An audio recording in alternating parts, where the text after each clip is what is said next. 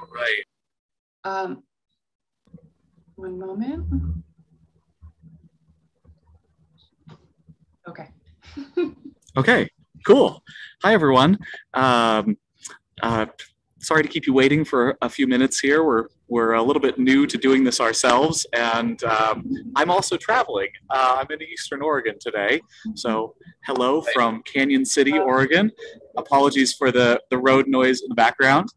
Um, my name is Lynn Davis. I'm program co-director for Healthy Democracy, and Hi, everyone. Alex Ranieri, also program co-director with Healthy Democracy. Um, thanks so much for being with us for this exciting, sort of one of the first uh, kind of events in this Petaluma Fairgrounds Advisory Panel process uh, that we've just started in partnership with the City of Petaluma. Uh, Healthy Democracy, just as a little bit of background, is a nonpartisan nonprofit that designs and coordinates deliberative democracy programs. We're based in Oregon, although we've worked in five states and a, a couple other times in California, actually, and a couple other countries. We're all about bringing everyday people from all walks of life into political decision making. Um, we're coming to you live today to select the Informational Advisory Committee, a group of stakeholders who will support the Petaluma Fairgrounds Advisory Panel, um, that we'll be referring to as the panel, over the next couple of months. And Alex will talk more in a few minutes about sort of what the difference is between those two groups.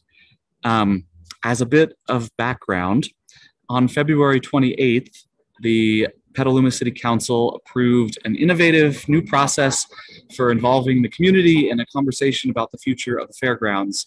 And we at Healthy Democracy are thrilled to be designing and coordinating that process.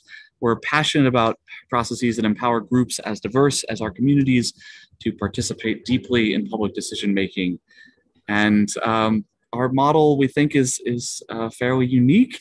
Um, and if you're interested in learning more about it, uh, we'll add a link to our full presentation to City Council back on the 28th to the description of this video once it becomes a recording on YouTube. So it may take a little bit uh, later on today, uh, March 24th, um, for us to put it there. Uh, the link to the to the City Council meeting, and you'll you'll find sort of our presentation starting at the 50 minute mark, five zero. Uh, so with that sort of mini introduction, let me turn it back to Alex uh, to talk about the Informational Advisory Committee, what we're selecting today, uh, its role and its function in the process. Yeah. So yeah, by way of a little bit more background, um, highly encourage folks to go look at our full presentation to council. And if you really wanna get into the nitty gritty of what this process is gonna look like, um, but there are these two distinct bodies that we're in the process of recruiting for right now.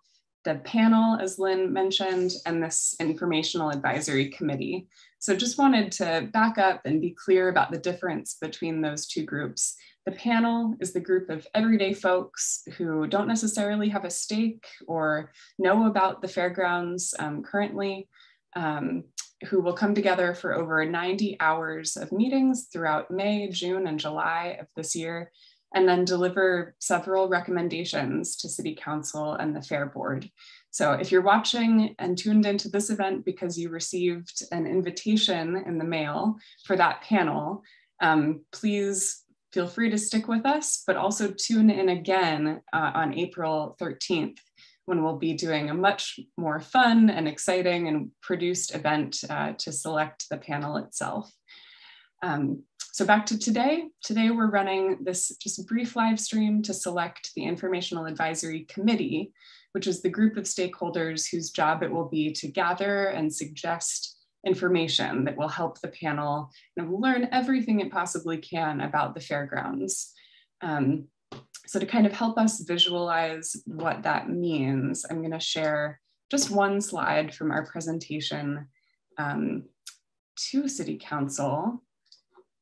That's the, the diagram of players in this project. So you'll see at the center, the lottery selected panel, um, they're doing the deliberation. Um, they're kind of the star of this show. And stakeholders also have a really significant role. So stakeholders feed into the Informational Advisory Committee over to the left side, and both of those groups um, provide input and important context for the panelists.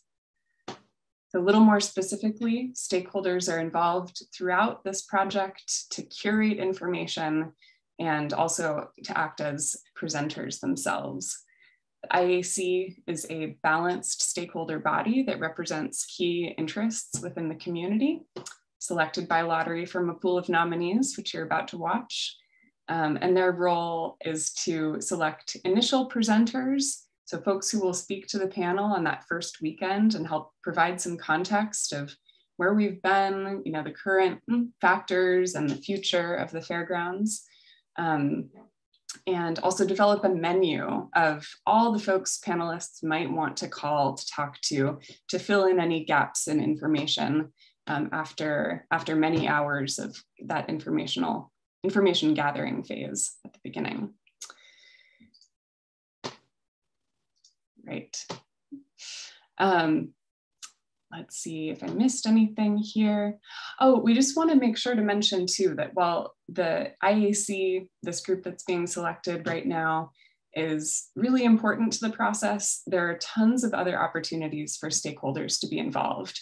So if you are watching and you were one of the people who um, who raised their hand and, and is in the pool of nominees and you aren't selected, or if you didn't respond, um, there are plenty of opportunities to provide direct input to the panel throughout their deliberations, um, to speak to panelists as presenters that provide that context.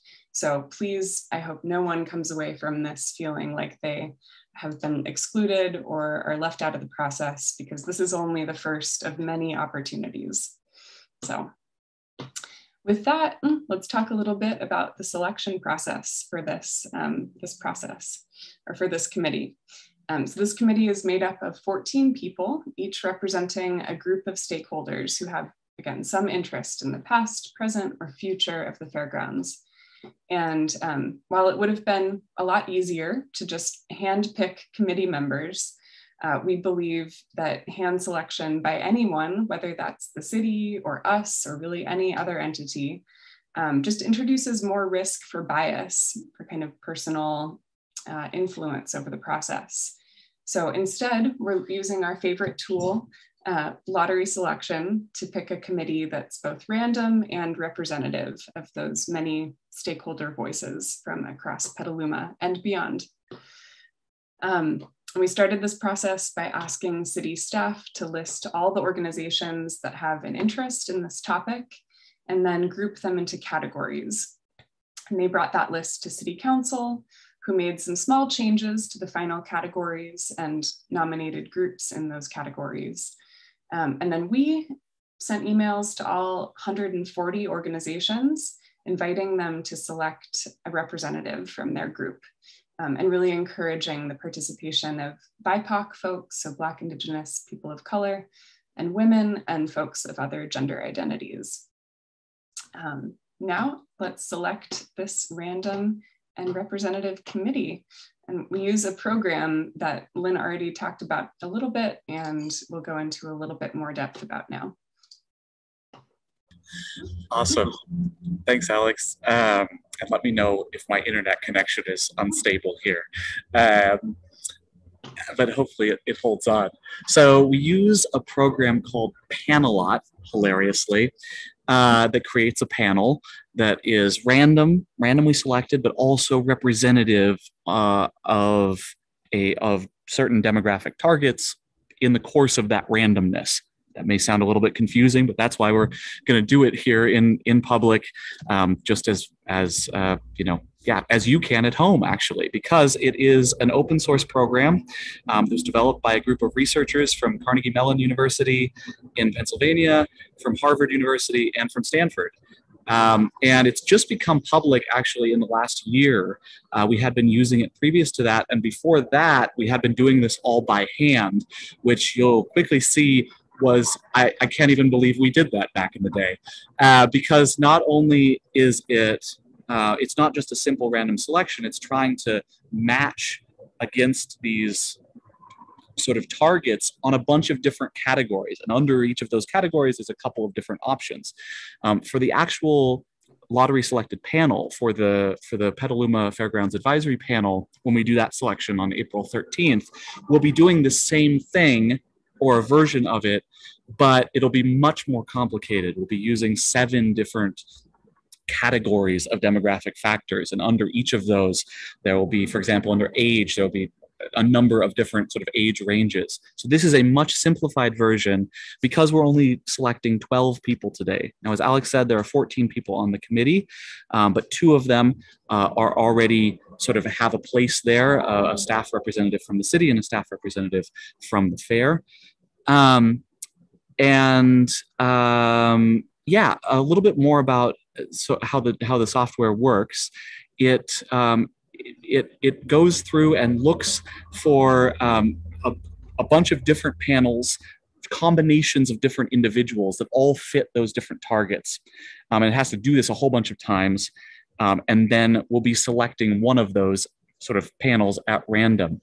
Um, for more on how that works, because that is very much the, the Cliffs Notes version of what is a complex system, look on our YouTube channel under the Discussions on Democracy playlist for uh, uh, a video that we produced last year describing in excruciating detail, perhaps, how this works and um, and also an interview with a couple of folks who helped design it. We'll also put a link to that down in the description after we post this video um, or save it.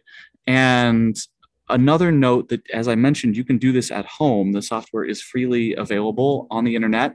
Um, just go to panelot.org, P A N E L O T, and we'll put a link to that down in the description as well. Now, I think Alex is going to share the, uh, the sort of sheet that we use. Oh, hold on. Loud noise on the highway. Okay. there we go. Uh, so this is where what we sort of prepared in advance in terms of the demographic targets. Now, in the first category here, you'll see um, stakeholder the stakeholder categories. As Alex mentioned, those were approved by council um, a few weeks ago, and we'll be selecting one person from each of those categories. So that acts like a demographic factor, but it's it's sort of it's not based on the census or anything like that. The second category there is for uh, gender. And that one we have based on the census, the latest census estimates from 2020. Um, and this document, by the way, will be publicly available after this um, as well. It may take us a couple days to get this on the website. Um, and down, there'll be footnotes down at the bottom, sort of explaining where the, the sources for these uh, different numbers. Um, so we'll be selecting sort of based on those targets in that sort of third or right-hand column there. Um, and they have ranges, as you can see, um, to give the to give the software a little bit of wiggle room as it tries to create this panel that that meets all these factors at the same time. Now, the third uh, sort of section here is race and ethnicity, and we have vastly simplified, oversimplified, perhaps you might say, uh, what is a, obviously a very complex category um, some simplification is always necessary in order to do this sort of proportional representation, but in this case, it's it's very simplified because of the number of people. We're only selecting 12 folks, and so that means that it uh, it wouldn't work to sort of use a more complex category with a, a bunch of different um, factors there. Um, so we've simplified it to BIPOC or white, uh, non-Hispanic. And those are based on the uh, the census, but actually based on the census demographics for the K-12 population in the city of Petaluma, which was our directive from City Council to do that where possible um, as an equity lens. Mm-hmm. So uh, I think, unless I'm missing something, Alex, have I covered everything there? And I'm handing it back over to you again. Yeah, that's perfect. Awesome. Alrighty. Um, so we've received 43 responses from uh, stakeholders who we reached out to who were nominated.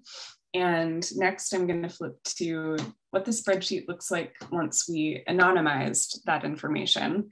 So you'll see everybody who responded has a, an identifier over on the left-hand column. Um, and then you'll see the three factors that, that Lynn just went over. So gender, race and ethnicity, and stakeholder category associated with each person. And this is what we feed into the selection software. Now let's move over to Panelot. You'll see the program that Lynn just talked about. If you go to panelot.org, let's just show everybody um, very accessible, clean, ready to use, play around with. we'll go up to compute a civic lottery. And we're choosing a file which is essentially just exactly what Lynn shared, but simplified so that the program um, will run. Next, we're choosing the file that I just showed on screen, IAC respondents. It's confirming here, just in case we hadn't already anonymized everything, that we're not feeding any sensitive information into this uh, system. Input the number of panel participants we're looking for. This is 12, and as Lynn mentioned, there are 14 seats on this committee, and what council approved was that one of those seats is automatically filled by city staff and one of those seats is automatically filled by uh, Fair Board or the fourth DAA staff. Um, so in the lottery pool are um, 12. I'm confirming that the anonymized table contains no personal information. And Lynn, do you want to do a drum roll?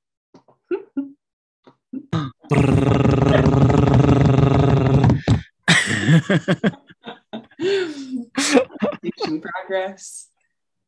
Uh, just as a note here, well, while it's while it's waiting, um, I forgot to mention that they call it a civic lottery. We call it a democratic lottery.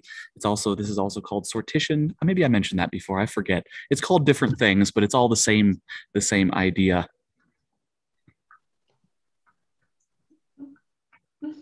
This is very interesting. When we did the trial run earlier, um, the the server was not as busy. I guess more people are collecting lotteries at this time of day. yeah, we're have a little tea and compute a civic lottery. right, right. If you're watching this later, you may you may want to just skip ahead in the video, see where the actual thing happens. We'll just hang out here. Uh, but uh, I believe this uses university resources at one of those universities. So it may be competing not just with people running lotteries, but like math students doing doing computations and that kind of thing.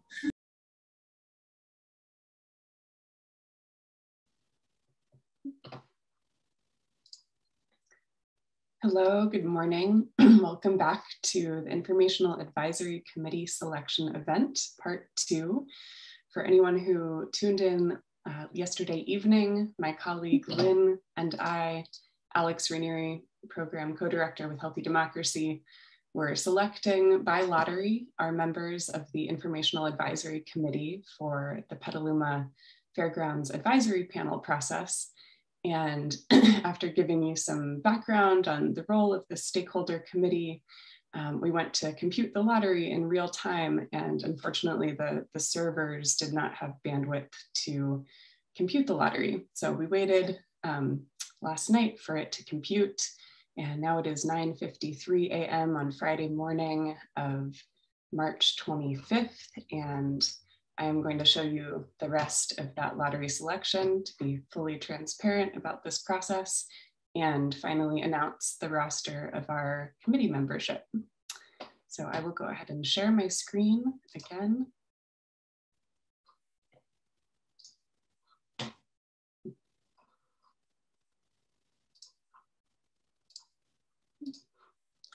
So after working all night long. um, here's what the software generated. Our civic lottery was successfully generated. Here's the probability of selection of members. I will download this link, uh, which is essentially a file with multiple potential panels to show you what that looks like here on the screen. Everybody, again, coded, um, fully anonymized, and now we're going to take this lottery file and select a single panel. Follow this link. we'll upload our lottery.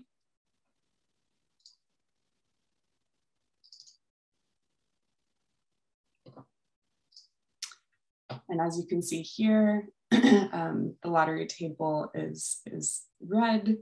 And the next step is to use this little random number generator to generate a totally random number that will tell us which of these many potential panels that fit that those uh, criteria for representation we talked about yesterday, um, we will get. So here's our number. 958075. I'm copying that and pasting it below. And here we go, drawing the panel. And here is our committee. So I am going to reference our, um, our not anonymized sheet on my other screen here and um, announce on camera who, who our members are. Lynn was gonna help me with this, so it might be a little bit a little bit uh, clunky here, but I wanna make sure that we announce everybody in real time. So person 1001 is um, Arthur B. Cheney from 100 Black Men of Sonoma County. Person 1010 is Anne Edminster with Climate Action Petaluma. I should say uh, their stakeholder groups as well. So 100 Black Men of Sonoma County is in that BIPOC LGBTQIA2S plus groups category. Anne Edminster with Climate Action Petaluma is in our environmental and climate action groups category. Person 1063 is Catherine Lundy with Liberty School District, representing the schools and education category. Person 1071 is Mark Scott with the North Bay Animal Services, representing our emergency services category. Person 1094 is Onita Pellegrini with the Petaluma Area Chamber of Commerce, representing business groups. Person 1120 is Anna Cordoba Belic uh, with the Petaluma Family Resource Center at McDowell person 1148 is Kimberly Arntz with the Petaluma High School Agricultural Department and Petaluma FFA, representing our agricultural groups. Person 1161 is Jonathan Gainley with Petaluma National Little League, representing families, youth, age-friendly, and recreation groups. Person 1175 is Diana Spalding with the Petaluma Regional Library, representing property neighbors. Let me just get over to our last person here. Uh, person, or second to last, person 1190 is Shannon Kramer with Petaluma Valley Rotary, representing nonprofit and faith-based organizations. And finally, just get that over where I can see it. Oh, two more. Uh, person 1212, Jerry Wilkinson um, with uh, Petaluma Wheelman Cycling Group representing active transportation. And finally, person 1225, Hector Coelho, Coelho uh, with Play Dog Play representing current tenants and property users. So I'll mention again, first of all, congratulations to everybody serving on the Informational Advisory Committee. Um, it will be these 12 members plus uh, uh, someone representing the 4th District Agricultural Association and a staff member representing the city. Um, I'll be sending out scheduling emails today so that group can, can, can begin meeting very soon to begin to prepare for the Fairground Advisory Panel process. And one last note, this is, as we mentioned yesterday, not the only opportunity for stakeholders to be involved.